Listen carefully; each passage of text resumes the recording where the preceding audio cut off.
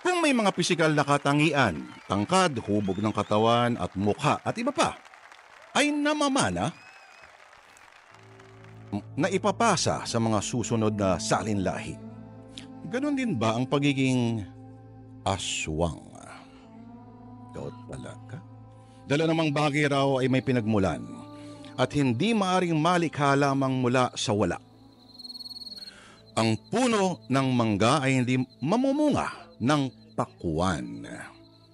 Sa ating kwento, sa ating dula ngayong Monday na misteryoso, ay malalaman po natin kung ang pagiging aswang ba ay dumadaloy sa dugo at naipagpapatuloy sa mga salin lahi. Ang dalagang estudyanteng si Kakay ay matutuklasan ang tunay na kwento ng kanyang angkan at ang nakakikilabot na kasaysayan nito. Simulan na po sa, natin sa Sana Lord at alamin kung inyong tatanggapin ang pamana ng hating gabi.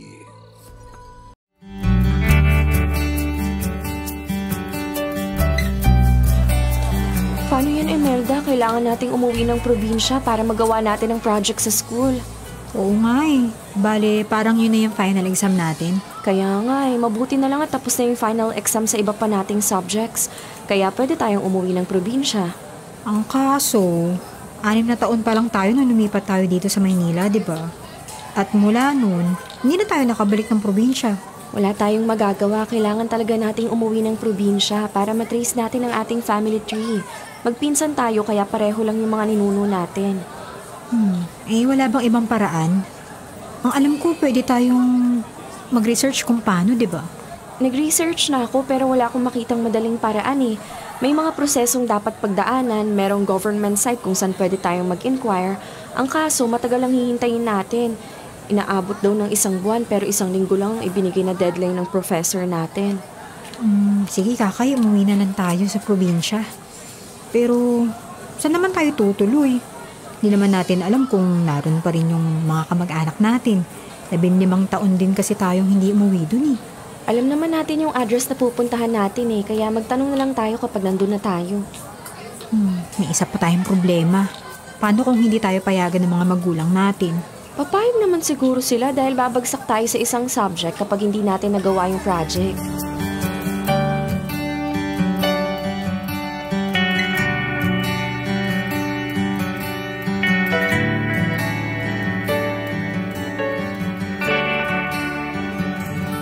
Sasamahan na kita. Paano trabaho mo? Baka abutin kami rin ng ilang araw. Eh, pwede naman ako mag-leave kahit isang linggo. Nakakahiya naman sa'yo, malayong probinsya namin. Sa dulo pa yun ng Visayas region. Kahit pa sa dulo ng Mindanao o sa dulo ng Luzon ay sasamahan pa rin kita. Alam kong pangarap mo makatapos ng pag-aaral kaya susuportahan kita sa abot na aking makakaya. Ganyan kita kamahal. Wow naman, natouch ako ron. Maliit na bagay lang yon kakay. Mahal na mahal kita kaya kahit buhay ko ay ilaan ko, kaya kong ialay para sa'yo. Tama na Harold at baka maiyak na ako sa mga sinasabi mo. Okay, sabihin mo lang kung kailan tayo aalis at bukas na bukas din ay mag-file ako ng leave of absence.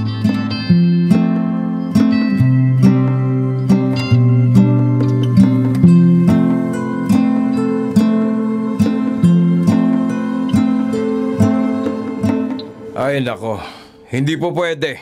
Ayoko, delikado. Kasama ko naman po si Imelda tsaka si Harold.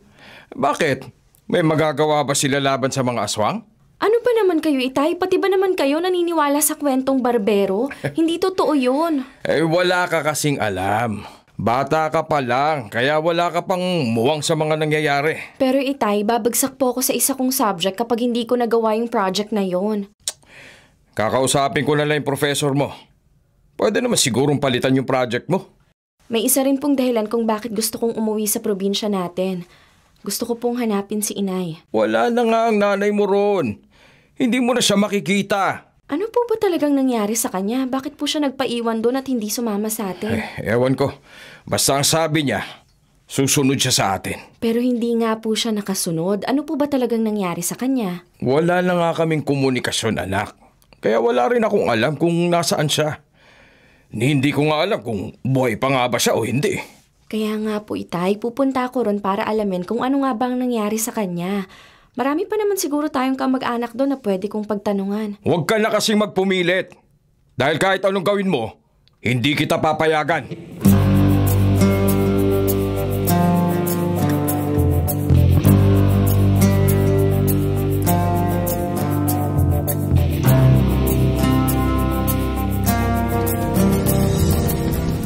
Hanga talaga ako sa determinasyon mo. Tinakasan mo ang tatay mo. Akala niya kasi papasok lang ako pero hindi niya alam na may ilang peraso akong dalang damit. Malalaman din naman ng tatay mo na magkasama tayo eh. Dahil malamang, magtatanong yun sa tatay ko. Buti ka pa nga't pinayagan ka ni Tito Fredo, samantalang si Itay hindi ko talaga makumbinse.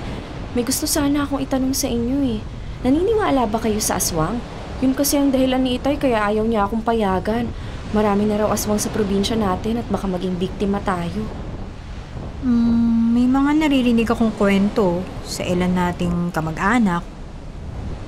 At kumbinsido sila na totoo nga yung aswang at iba pang uri ng mga maligno. 2024 na ngayon, uso pa ba ang ganyang paniniwala? Ay, Hindi naman kayang burahin ng panahon ng isang alamat. Mananatili ito sa kasaysayan ng ating kultura. Kung sa bagay, kahit naman sa ibang bansa, ay iba't ibang uri ng paniniwalang maligno na kung saan ay tinatawag na urban legend. Teka muna, bakit yan yung pinag-uusapan natin? Ang pagtuunan natin ng pansin ay kung paano natin malalaman yung family tree natin. Sa palagay mo ba, alam yun ng mga kamag-anak natin sa probinsya? Meron naman siguro tayong makukuhang impormasyon. Eh, hanggang saan ba yung kailangan ninyo i-trace? Hanggang ilang henerasyon ba ng inyong family tree? Hmm, wala naman sinabi yung professor namin kung hanggang saan nga ba yung dapat naming i-trace eh. Siguro naman, hindi yun naaabot hanggang kina Adan at Eva, di ba? Ay, o siya nga pala. Anong oras ba tayo dadating sa lugar na pupuntahan natin? Mukhang aabutin tayo ng gabi. Oo, gabi na tayo darating ng Pierre. Tapos, kailangan pa nating sumakay ng bus pero wala raw bumabiyahe ng gabi. Kaya sa isang hotel na tayo matutulog.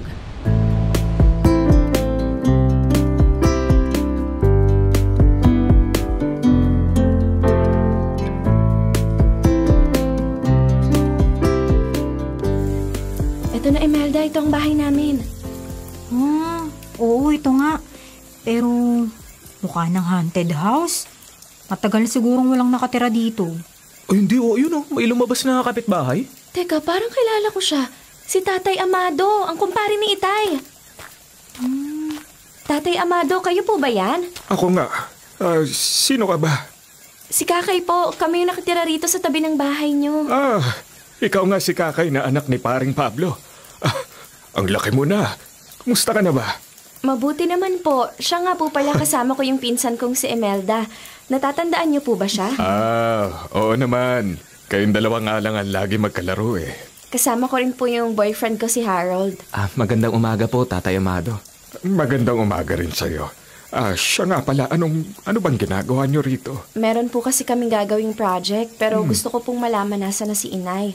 Nagpaiwan po kasi siya nang pumunta kami ni Itay sa Maynila eh. Ay, sa totoo lang, ah, walang nakakaalam kung nasaan siya dahil bigla siyang naglahong parang bula.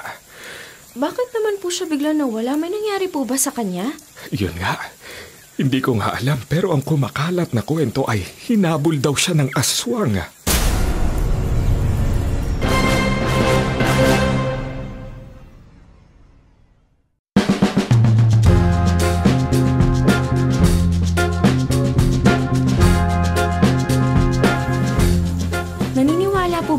Kayo sa aswang, Tatay Amado? Ay, nako. Oo naman. Dahil nakakita na ako. Ilang beses na nga. May hinabol na kaming aswang na lumilipad pero hindi namin naabutan. At nakakita na rin ako ng aswang na nagaan yung malaking aso. Hmm, tinatakot po ba ninyo ako? Ay, hindi ako nananakot. Totoo ang sinasabi ko. Eh, para po kasing kapanipaniwala ang sinasabi ninyo. Hindi ko na kayo masisisi dahil sa Maynila kayo lumaki pero ikaw, Kakay. Hindi ba't marami ka na rin narinig na kwento noon? Kahit ikaw, Imelda, huwag mo sabihin wala ka rin alam. Aaminin ko po, natatakot din ako nung bata pa ako dahil naniwala po ako kahit wala akong nakita. Pero nag-iba na po ang pananaw ko ngayon. Tsaka, Tay, wala pong scientific explanation kung meron niyang aswang at iba pang maligno. Ay, siya sige. Tatanungin ko kayo. Naniniwala ba kayo sa Diyos? Hmm, syempre naman po. Karaniwan na po yung paniniwala ng karaniwang tao. Kung naniniwala kayong may Diyos, ay dapat na maniwala rin kayong may demonyo at kampon ng kadiliman. Sige po, Tatay Amado, sabihin na nating totoo ngang may aswang na humabol kay inay. Ano na pong nangyari sa kanya? Inabutan po ba siya ng humahabol sa kanya? Ay, hindi ko nga alam pero hindi lang naman ng nanay mo ang hinabol ng aswang. Maging ang mga tiyahin mo at mga tiyo mong kapatid ng nanay mo, ihinabol na rin. Ganun po ba? E di wala na po yung mga kamag-anak namin dito. Oo, totoo. Nagtatago silang lahat dahil ayaw nilang maabutan ng aswang. Eh, pero bakit po sila hinabol ng aswang? Gusto po ba silang biktimahin? Ay, di naman sa ganon pero hindi ko nga alam pero posible ngang naging biktima silang lahat dahil nawawala pa rin sila hanggang ngayon.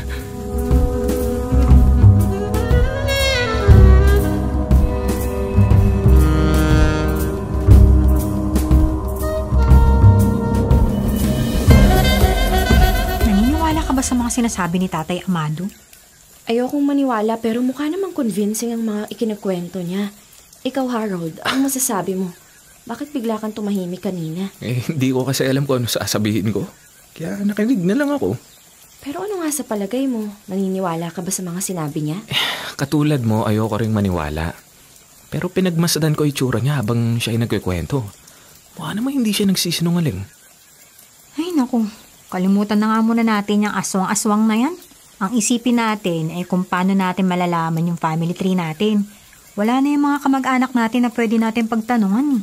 Kaya nga eh, wala na palang saysayang pagpunta natin dito. Nag-aaksaya lang tayo ng panahon. Problema pa ba yun? Eh di mamasyal na lang tayo. Meron naman siguro ditong magandang lugar na pwede natin puntahan. Mm, pumunta na lang tayo sa bayan at doon na lang tayo magtanong. Oh, sandali. May tumatawag sa'yo, kakayo. Oh my God! Si Itay, yari ako. Sasagutin ko ba? Naku, sagutin mo na yan dahil nag-aalala na siya sa'yo. Eh, siguradong papagalitan lang niya ako eh. Eh, ganun talaga. Kaya mag-sorry ka na lang. Sige na nga. Hello, Itay. Kumusta na po kayo? Hindi mabuti. Nasaan ka? Narito po sa probinsya natin. Ay, nako. Ang tigas talaga ng ulo mo eh, no? Sabi ko naman sa'yo, huwag kang pupunta riyan. Narito na po ako. Huwag na po niyo akong pagalitan. Bumalik ka na rito. Sa lalong madaling panahon. Eh, hindi ko po alam kung kailan ako makakauwi. Okay lang po ako rito kaya wag na po niyo akong alalahanin.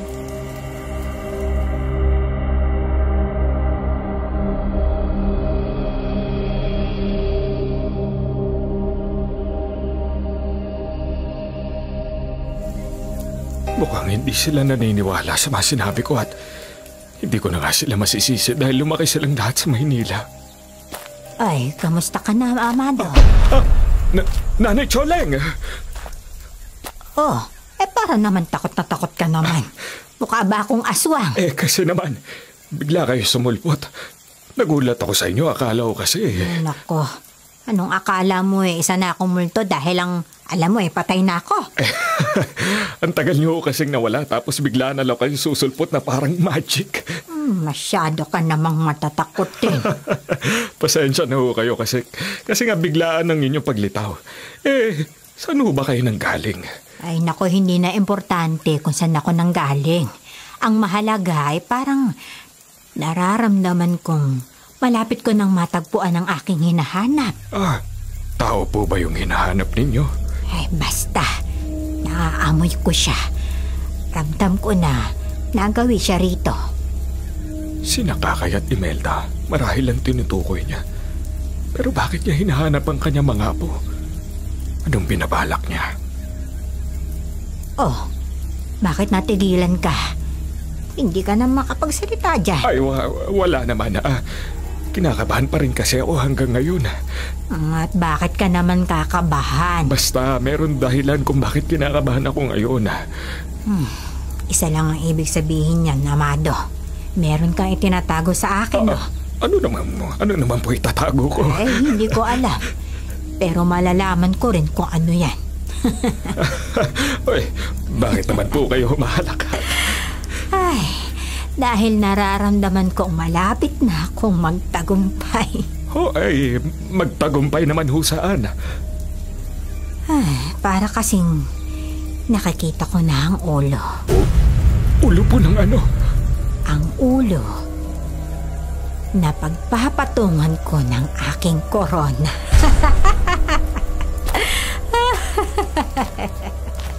Ano ba nangyayari kay Nanay Choleg? Para na siyang napapaliw.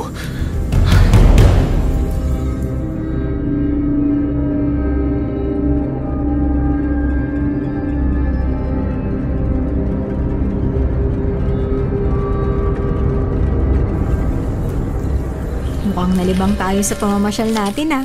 Gidabi na tayo masyado. Eh, maaga pa naman. Mag-aalis siya ito pa nga alam mo. Oo, maaga pa kung nasa Maynila tayo, pero narito tayo sa probinsya.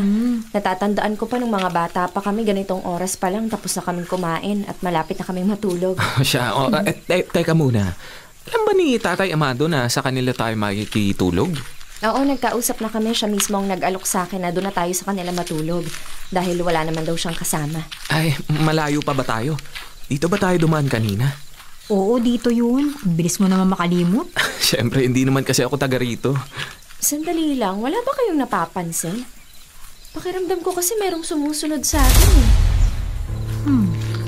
Yan din sana yung gusto kong itanong sa inyo kanina eh. Ano ba yan? Bigla tuloy yung kinabahan. Nakakabahan na nga rin ako. Siya, huminto nga muna tayo rito. Ano, makiramdam kayo mabuti ha. May kumakaluskos. Diyos ko, tingnan niyo sa likuran natin. Laki ng mga aso na. Sa malaking aso itim. Masyado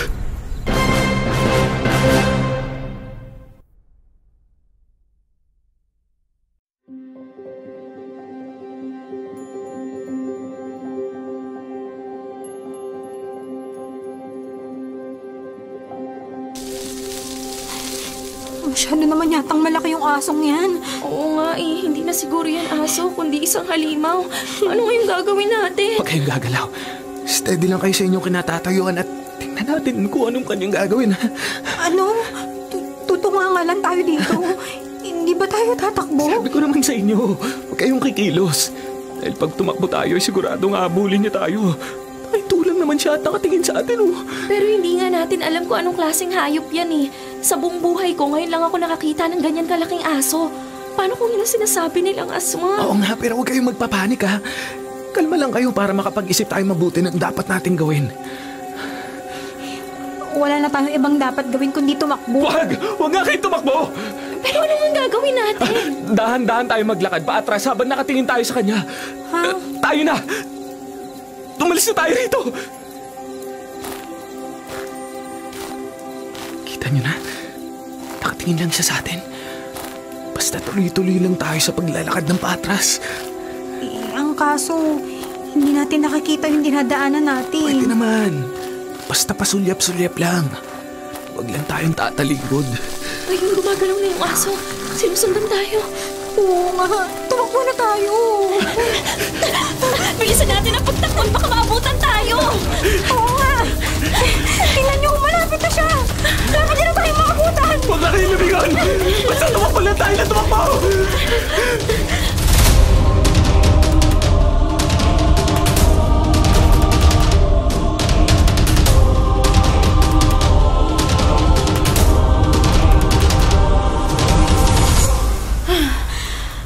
Wala na. Nawala na yung asong humahabol sa atin. Oo nga.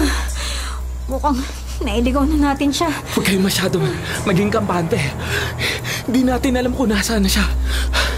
Paano kung bigla na lang siya lumitaw? Ano yun? Parang may baboy. Oo nga, no. Merong baboy.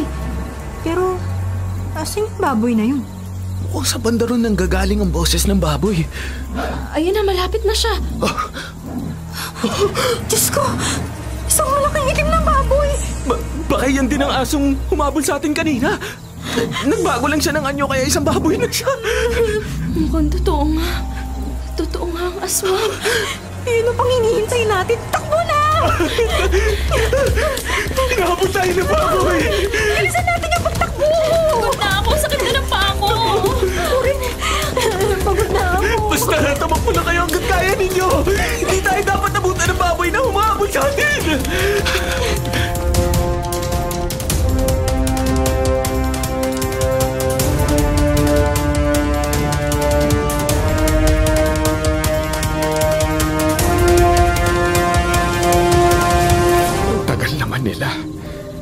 Kaya wala pa rin sila hanggang ngayon? Kinakabahan na ako. Baka may masama na nangyari sa kanila. Baka sila na nga ang kumakatok. Kayo na naman! Nagulat ka na naman ba? Ay, nakakatakot ba talaga ang hitsura ko? Sino ba namang hindi magugulat sa inyo? Gabing-gabi tapos bigla na lang kayo lilitaw. Ano ho bang kailangan ninyo sa akin ngidis oras ng gabi? Hindi ikaw ang kailangan ko, kundi ang mga hinihintay mo. At sino naman hihintayin ko? Huwag ka nang magkaila dahil alam kong kanina mo pa sila hinihintay. Paano ninyo ho yun nalaman? Hindi na importante. Basta ang alam ko kung sino sila. At huwag kang mag-alala dahil walang masamang nangyari sa kanila. Maghintay ka lang dahil paparating na sila. Hinihintay din ba ho ninyo sila? Eh, pumasok muna kayo at dito na lang kayo maghintay sa loob. Hindi ko gusto ang amoy ng bahay mo kaya dito na lang ako maghihintay sa labas.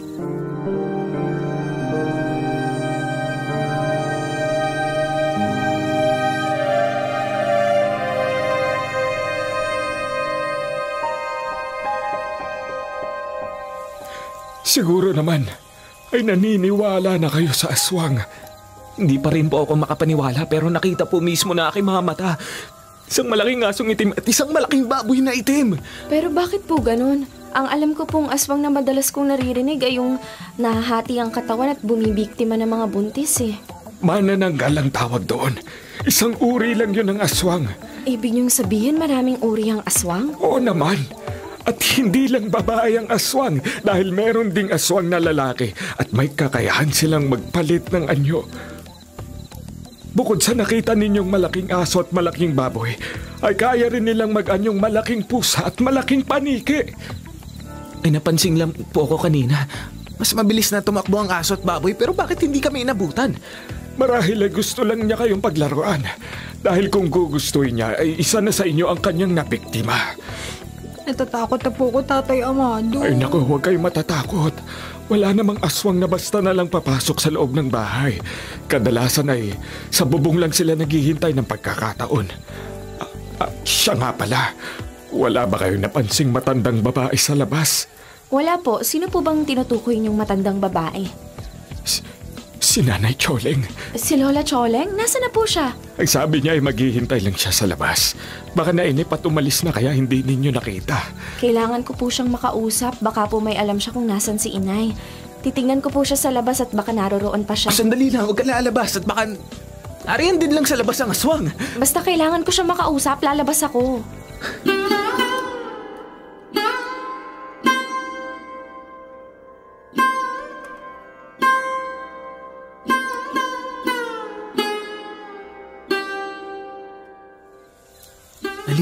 Na natin ang buong paligid pero wala si Lola Choleng. Halika, pumasok na tayo sa loob. Ma- matutulog na tayo. Mauna ka na sa loob, maghihintay pa rin ako rito at baka sakaling dumating si Lola Choleng. Hindi kita maaring iwan dito nag-iisa. Kung ayaw mo pang pumasok sa loob, edi sasamahan kita rito sa labas. Sigurado ka ha, hindi ka natatakot sa aswang. Oo. Oo, kanina natatakot ako. Pero sa pagkakataong to, wala na akong kinatatakutan. Dahil pinagtatanggol kita hanggang kamatayan. Hindi ko uurungan kahit pa sinong aswang o kahit pa anong uri ng halimaw o maligno. Sabi ko naman sa'yo, kakay. Mahal na mahal kita at nakalaan akong itaya ang buhay ko para sa'yo. Magaling, magaling, magaling. Oh, Lola Choleng! Pinahanga mo ko, iho. Napakaswerte ng apo ko sa'yo. Ah, magandang gabi po, Lola Choleng. Lola, siya nga po pala si Harold, ang boyfriend ko po. Eh, kinagagalak kitang makilala, Harold. Narinig ko ang sinabi mo at kahanga-hanga ang iyong katapangan. Dahil si Kakay din naman po ang nagbibigay sa akin ng lakas at tapang. Siya nga po pala, Lola, may itatanong po ako sa inyo. Alam niyo po ba kung nasan si Inay? Eh, oo. Alam ko kung nasan siya. Halika, sumama ka sa akin. Ah, sasama rin po ako, Lola. Hindi ka sasama. Diyan ka lang.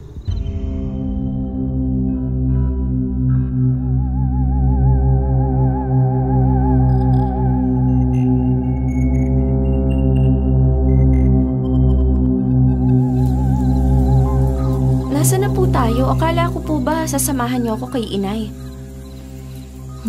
May pagtatapat ako sa iyo.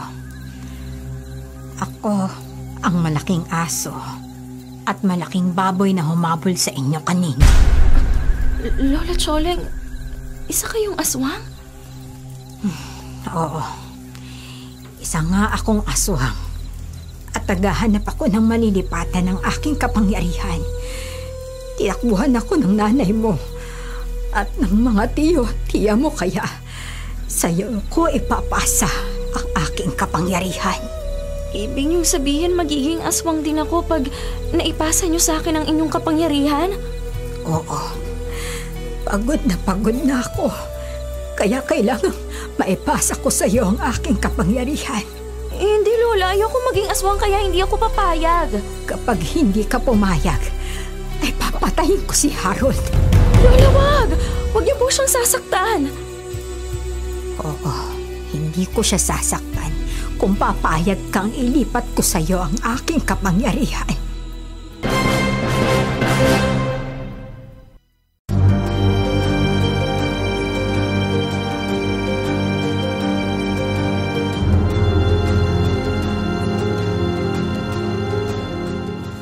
Please, Lola. Maawa po kayo sa akin. Ayoko pong mawala sa akin si Harold. Pero ayoko rin pong maging isang aswang. Wala kang magagawa dahil isa lang ang pwede mong piliin. Bakit ako, Lola? Bakit ako? Kasalanan niya ng nanay mo. Dahil siya ang una kong gustong pagsalinan ng aking kapangyarihan. Pero tumanggi siya at ako'y kanyang tinakasan. At maging ang iyong mga tiyo at tiya ay tinakasan din ako. Sa pagkakataong ito ay hindi ko hahayaang makatakas ka sa akin. Maawa na po kayo sa akin, Lola. Hindi ko po magagawang tanggapin ang inyong kapangyarihan. Hindi kita pipilitin kung ayaw mo. Pero gaya ng nasabi ko sa'yo kanina, ngayon mismo ay papatayin ko si Harold. Huwag, Lola. Huwag po. Hindi ako maaantig ng mga luha mong yan. Kahit paano, pananangis ang gawin mo. Ay hindi magbabago ang isip ko. Kakay? Tumakbo ka na, Harold. Dahil isang aswang si Lola Choleng. Siyang malaking asong humabol sa atin kanina. Kung ganun tama nga ang kutob ko. Yun ang dahilan kung bakit ko kayo sinundan. At anong gagawin mo? Papatayin mo ako? Oo, papatayin kita. Huwag kang lalapit. Hanggang diyan ka lang. Bigla nagbago anyo ni Lola Chole. Nakakatakot ang kanya itsura. Nagkaroon siya ng mga pangil at naging pula ang kanya mga mata. Naging aswang na si Lola. Kaya tumakbo ka na, Harold. Hindi ako natatakot sa kanya. Ha, matapang ka talaga, ha? Pero sasayangin mo lang ang iyong katapangan. Papatayin kita! Sige, lumapit ka! At sasakmalin ko tong minamahal mo! Sige, Lola. Patayin niyo na ako dahil mas gugustuhin ko pang mamatay kaysa maging isang halimaw na katulad niyo. Hindi ikaw. Hindi ikaw ang papatayin ko, kundi ang mayabang na ito! Ano ba hinihintay mo? Halika! Lumapit ka sa akin at ikaw ang papatayin ko! Ikaw ang mamamatay, papatayin kita! Ah! Bitiwan mo ako! Bitiwan mo! Ay, Diyos ko, nagkaroon ng pakpak si Lola. Nahati ang katawan ni Lola at lumipad siya kasama si Harold. Lola! Saan niyo dadalhin si Harold? Ibalik niyo siya rito! Ibalik niyo siya! Huwag mo na akong habulin dahil mapapagod ka lang. Pero saan niyo nga po siya dadalhin? Sabi ko naman sa'yo, huwag mo na akong habulin dahil hindi mo ako maaabutan. Bumilis ang lipad niya. Palayo siya ng palayo.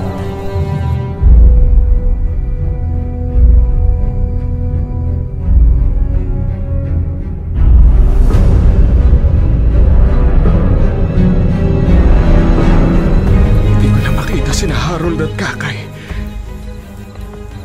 Naya lang po sila kanina sa labas ah. Oo nga. Pero hindi ko na sila makita.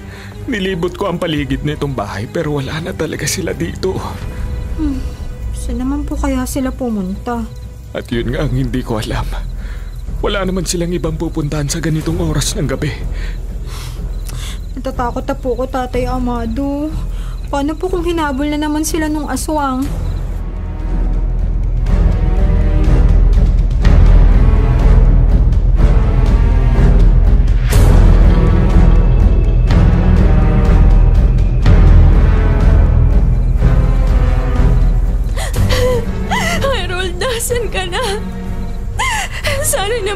Ginawang masama sa'yo si Lola. Kang umiyak. Dahil buhay pa siya. Nasaan si Harold? Saan niya siya dinala?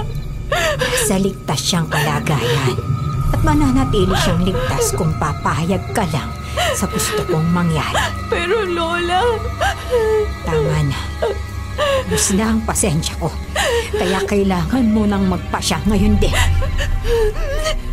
Sige po Lola. Payag na po ako. Kung ganon, ibuka mo ang iyong bibig. Ba- bakit po? Basta ibuka mo ang iyong bibig. At ipikit mo ang iyong mga mata.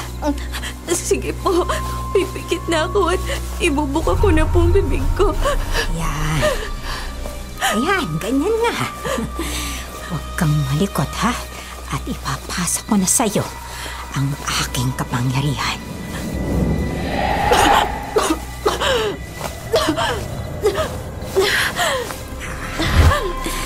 Naipasa ko na sa'yo Ano po yung nalunok ko na nanggaling sa bibig niyo? isang maliit na batong itim. Nasa iyo na yun, kaya isa ka ng aswang. At ngayon naipasa ko na sa iyo ang aking kapangyarihan.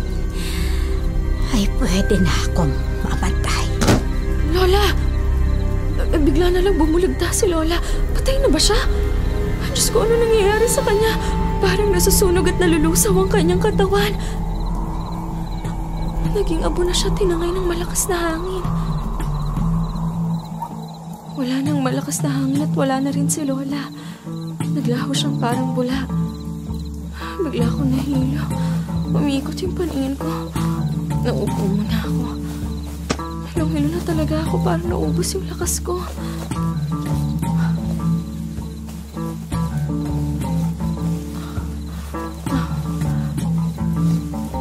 Antok na rin ako.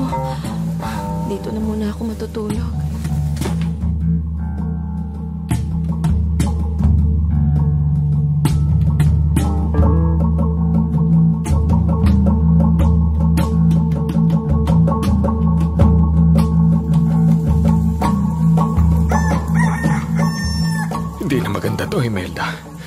Umaga na pero wala pa rin sila. Kaya nga po eh. Ano pong gagawin natin?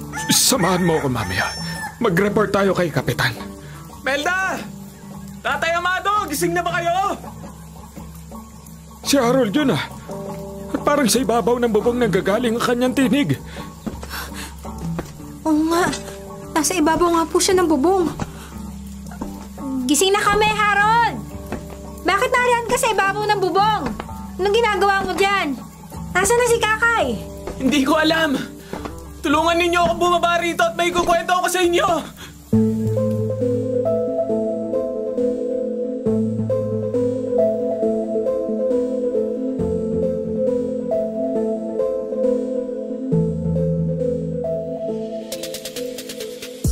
Kung ganun, tama nga ang kutob ko.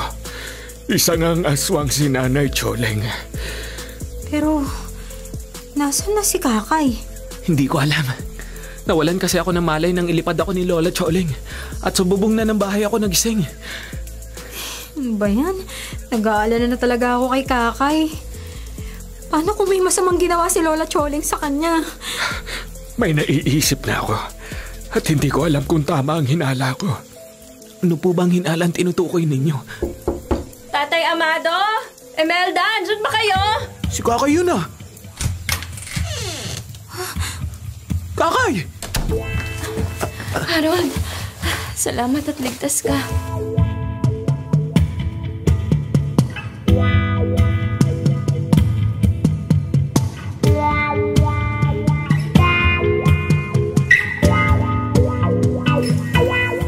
Bakit ka pumayag?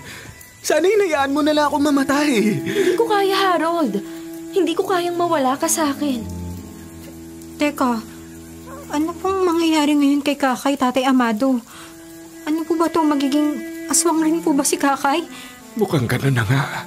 Magiging aswang si Kakay pagsapit ng kabilugan ng buwan.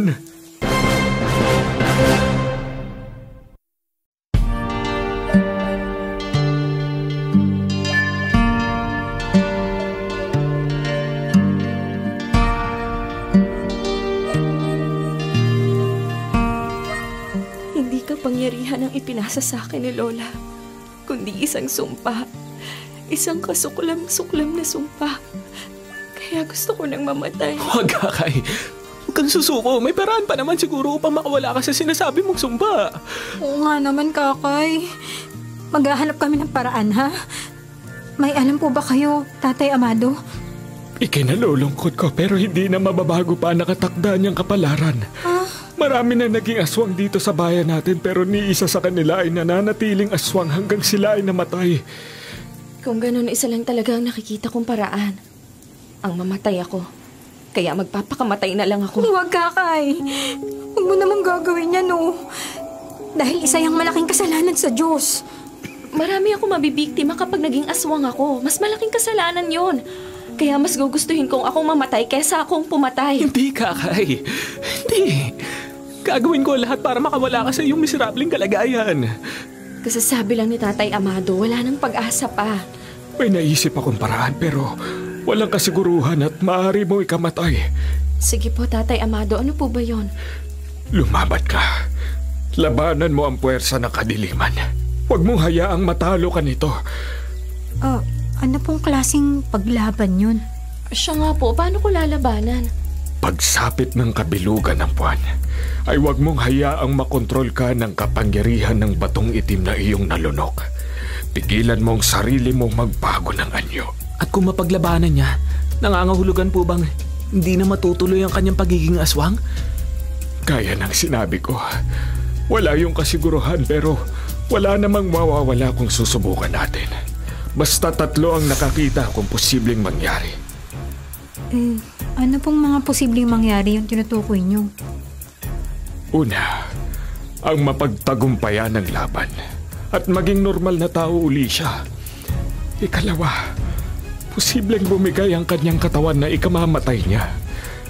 At ang ikatlo, at ang pinakamalalang posibilidad, ay ang maging tuluyan siya maging isang aswang.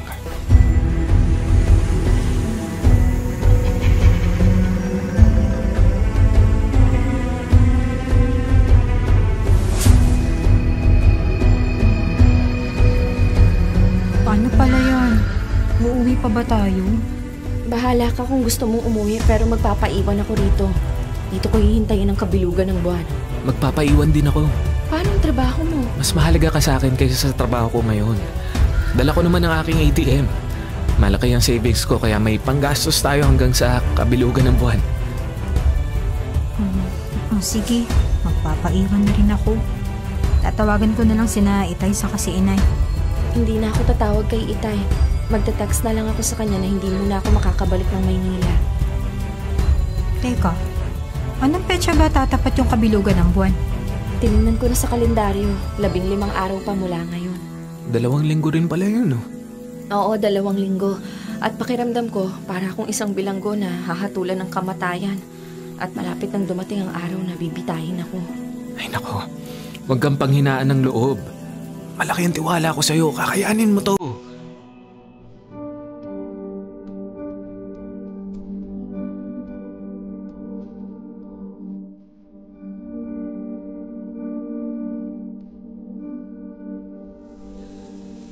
Mabuti naman nakatulog na rin na mahimbing si Kakay. Oo nga eh. Maaga na siya nakatulog. Naawa na ako sa kanya dahil lagi nga siyang puyat. Pero sa tingin ko, mas puyat ka. Dahil halos maghapon at magdamag mo siyang binabantayan eh. Araw-araw. Desperada na kasi siya. Baka kung anong maisipan niyang gawin at masalisan niya tayo. Kaya kailangan natin siyang bantayan. Pero baka ikaw naman yung magkasakit niyan. Matulog ka rin, uy. Ako nang bahala magbantay sa kanya.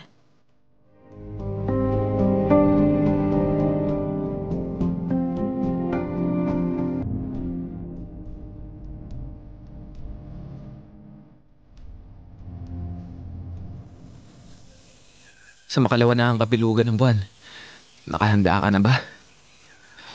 Oo, naihanda ko na ang sarili ko. Handa na ako sa anumang pwedeng mangyari. At ito ang lagi mong tatandaan. Mahal na mahal kita. At sana lagi mong aalagaan at iingatan ang sarili mo. Oo, bakit naman ganyan ka kung magsalita? Para nagpapaalam ka na. Please naman, huwag kang ganyan. Hindi ko alam kung anong mangyayari sa akin. Kaya ngayon pa lang, inihahanda ko ng sarili ko sa pag-iisan sa mundong to.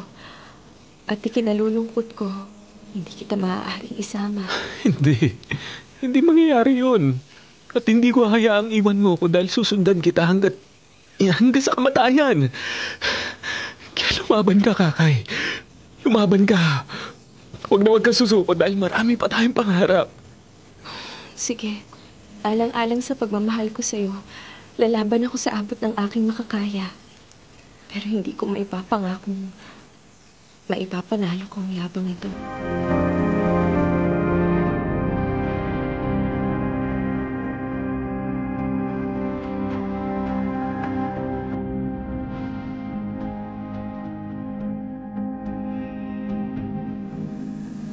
Dumating na ang takdang araw.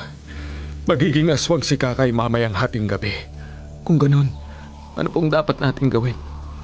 Naihanda na natin ang ating mga kailangan. Isuot natin ang ating kwintas na bawang upang sa ganun ay meron tayong proteksyon kapag hindi na paglabanan ni Kakay ang kapangyarihan ng batong itim.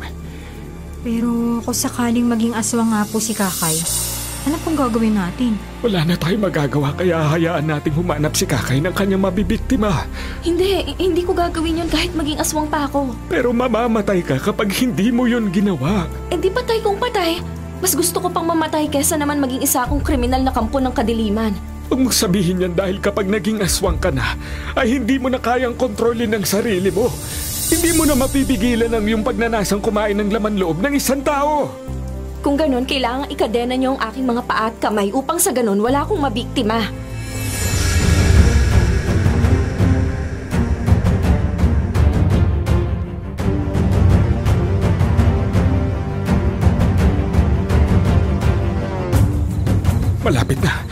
Isang minuto na lang at maghahating gabi na kaya ihanda mo ang sarili mo. Nakahanda na ako.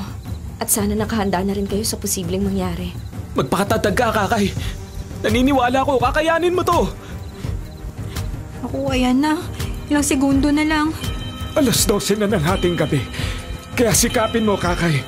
Sikapin mong labanan ang puwersa ng kadiliman. Nag-iinit at nanginginig ang buo kong katawan. Ganyan talaga nakatakdang mangyari kaya labanan mo! Oo, Kakay! Lumaban ka! Kaya mo yan!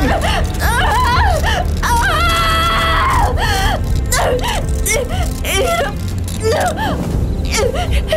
Hirap na ako. Laban lang, Kakay! Kaya mo yan! Oo, kaya mo yan, Kakay. Lumaban ka. Hindi ko na kaya. Hindi niya kakayanin! Unti-unti na nagbabago ang kanyang anyo! Diyos ko! Nagbago na nga yung anyo niya! Nakakatakot na! Nakakatakot na yung tsura niya!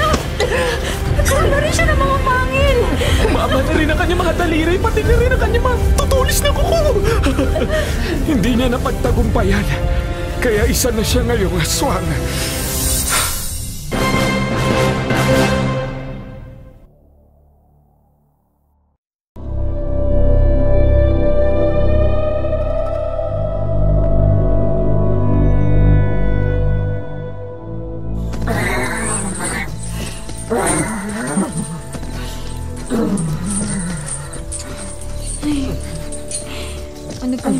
Natin, Tatay Amado? Kailangan niyang kumain ng lamang loob ng tao. Kaya alisin natin ang kanyang kadena pero huwag natin tanggalin ang bawang na nakapalupot sa ating katawan. Huwag! Huwag niyong tanggalin ang kadena sa aking mga kamay at paa! Pero kailangan mong kumain dahil mamamatay ka. Kaya nga hayaan niyo na lang ako mamatay. Ayoko maging kriminal. Hindi. Hindi ko hayaan mamatay ka, kaya alisin ko ang kadena mo. Wag, Harold! Wag! Mamamatay ka kapag hindi ko to ginawa. Bakit, Harold? Maaati mo ba na maging isa akong kriminal? Ngayon lang naman, kakay.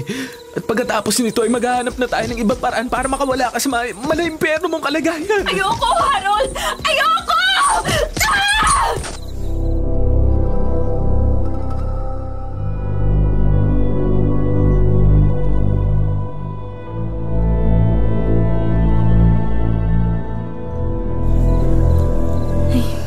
Patuloy na siyang nanghihina saka nauubusan ng lakas. Kaya nga eh, tutunga nga na lang ba tayo rito at panonoorin siya hanggang tuluyan siya mamatay? Eh, wala na tayong magagawa dahil yun yung pinili niya eh. Meron. Meron ako magagawa para maisalba ang buhay niya. Te- teka, bakit mo tinatanggal yung bawang sa katawan mo? Anong gagawin mo? Sandali. Huwag kang lalapit kay Kakay. Anong gagawin mo? Wag. Huwag mong tanggalin ang kadena ko. O yan. Tanggal na ang kadena mo. Harold! Ano bang... Ano ginagawa mo? Huwag kang lumapit sa kanya. Makinig ka kay Emelda. Lumayo ka sa akin habang nakakapagpigil pa ako. Huwag mong pigilan ang sarili mo. Ito ako, kakay. Sakmalin mo ako. Higupin mo ang dugo ko at kainin mo aking laman loob. Ano ka ba, Harold? Nababaliw ka na ba? Hindi ako baliw. Matino ang isip ko. Ilang beses ko na tong sinabi at minsan pa ay muli kong sasabihin. Mahal, mahal kita. At nakalaan akong itaya ang buhay ko para sa'yo. At sa palagay mo ba magagawa ko yun?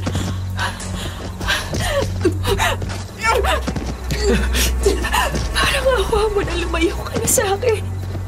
Gutom na gutom na ako at natatakam na ako sa'yo. Kaya nga, huwag mo nang pigilan ang sarili mo. Alam kong uhaw na uhaw ka sa dugo. At gutom na gutom ka na sa laman, kaya narito ako, kakay. Sige, magpakabusog ka. Harold, ano ba? Lalo mo lang pinapahirapan si Kakay eh. Tama si Imelda, parang awa mo na. Huwag mo akong pahirapan ng ganito. Lumayo ka na sa akin. Binigyan na kita ng pagkakataon kanina. Pero tumanggi ka, kaya ito na ang huli mong pagkakataon. Anong ginagawa mo riyan, Harold? Lumayo ka sa kanya! May dala akong biik, kakay. Kahit paano ay maibsan nito ang uhaw at gutom na nararamdaman mo. Sige ho, iyan lang ang kakainin ko. Ito, kunin mo!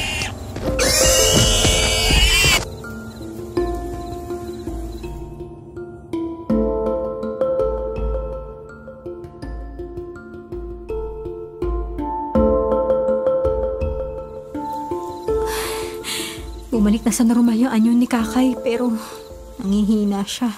Hindi kasi sapat ang dugo at laman ng baboy sa kanya. Dugo at laman ng tao ang magbibigay sa kanya ng sapat na kalakasan. Pero ayaw nga po niyang gawin yun. Paano po kung maging aswang uli siya sa sunod na kabilugan ng buwan? Hindi natin alam kung kailan uli siya magiging aswang. Maaring sa sunod na linggo ay maging aswang uli siya. Eh, kung ganun, delikado po pala yung buhay natin eh dahil hindi po natin alam kung hanggang kailan makokontrol ni Kakay yung sarili niya. Hindi naman.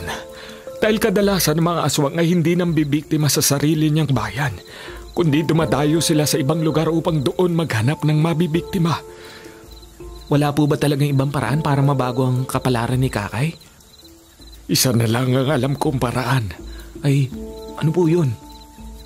Walang maaaring tumalo sa kapangyarihan ng kasamaan at kadiliman, kundi ang kapangyarihan ng liwanag at kabutihan. Ano pong ibig niyong sabihin? Dadalin ko po siya sa simbahan? Ganun na nga. Panalangin ng isang paryo o isang pastor ang posibleng magpalaya kay Kakay sa kuko ng demonyo. May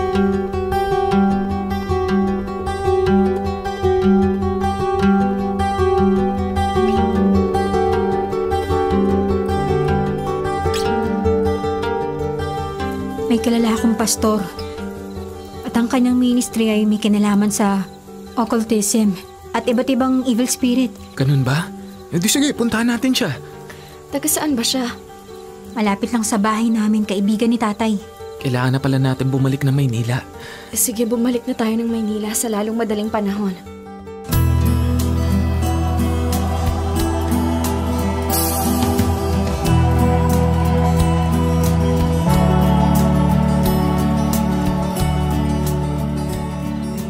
Maniwala ka sa Diyos dahil walang imposible sa Kanya. Naniniwala naman po ako eh, na ang imposible sa tao ay posible po sa Diyos. Amen. Totoo yan. Eh, ano pong dapat namin gawin? Ganito. Isama mo siya sa linggo sa aming worship service. Tapos ipagpe-pray over namin siya. Mas malakas ang power kung ang magdadasal ay ang buong congregation. Sige po, Pastor. Dadalo po kami sa sa service nyo sa darating na linggo.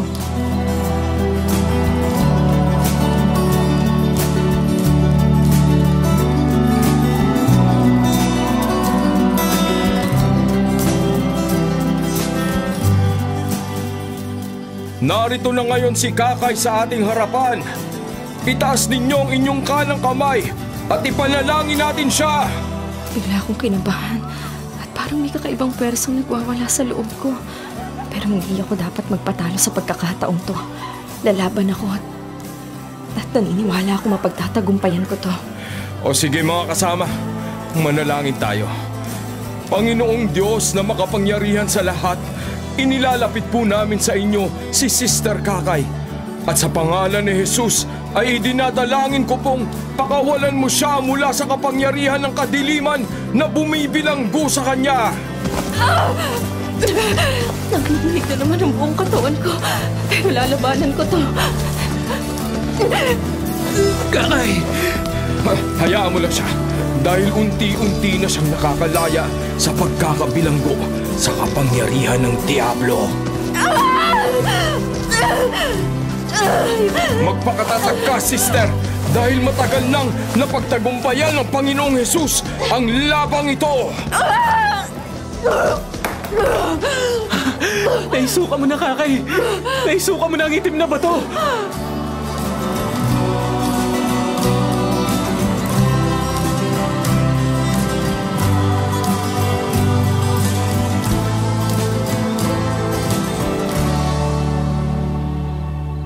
Sa wakas, nakalaya rin sa isang sumpa.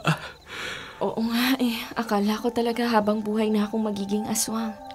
Siguro ito na rin ang turning point para magbalik loob tayo sa Diyos. Tama ka. Aaminin ko, matagal din ako nakalimot sa Panginoon. At ang karanasan kong ito ang naging daan upang mapalapit ulit ako sa Kanya.